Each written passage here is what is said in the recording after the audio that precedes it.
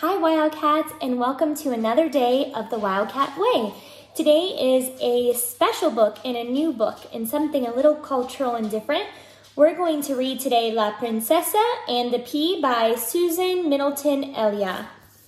And this is what it looks like. It's called La Princesa and the Pea.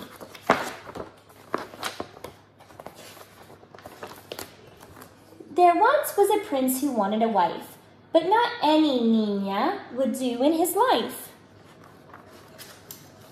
His madre was picky. She hoped for perfection. The prince was so lonely in need of affection. But here came a maiden en route to her castle. I hope I can stay here if it's not a hassle. She winked at the prince who fell for her fast. No matter what mom says, I'll marry this lass. The prince said, Come in, but his mother, La Reina, decided to test her. Would this girl be buena? Mama sneaked away to the royal jardin and found a small pea that was fit for a queen. She guarded the pea pod and took to the stair. If this girl is worthy, she'll feel that it's there. She placed El Guisante in the bed for the guests. She yelled, Veinte mattresses, lofty request. So 20 mattresses, that's veinte. The queen settled in with her box of bombones, while lots of strong workers came in with colchones. Uno was suave, dos was pequeño, tres was muy grande, cuatro un sueño. Several were pinstriped, some made of fleece, others were dotted or checkered or gris. The queen ate her treats, the bed was stacked high, and right when they finished, La Niña came by. Here is your cama, a place you can sleep.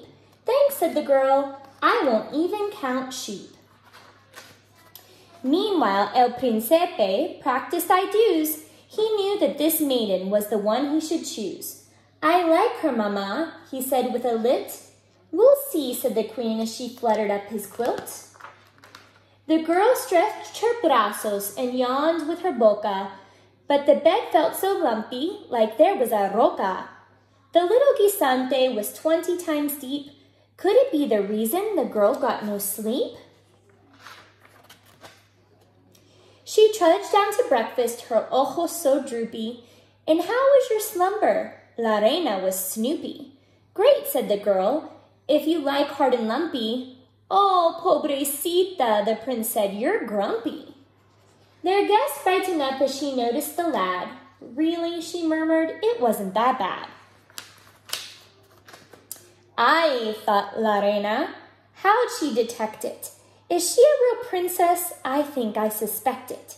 She signaled her son that the girl passed the test. Drat! She had managed to stave off the rest. The prince soon proposed with a golden anillo. They married that week in the royal castillo. The queen kept her promise and threw a big boda. The bride wore a wedding gown stylish, de moda. Acepto, acepto, they both said I do, and still to this day the queen has no clue. The prince had put pitchforks and stones in La Cama to help his true love pass the test of Queen Mama. The prince and his bride had hijos galore, one for each mattress, and then had no more. The ends. So again, that was La Princesa and the Pea, and I hope you guys enjoyed today's Wildcat Way. See you next time.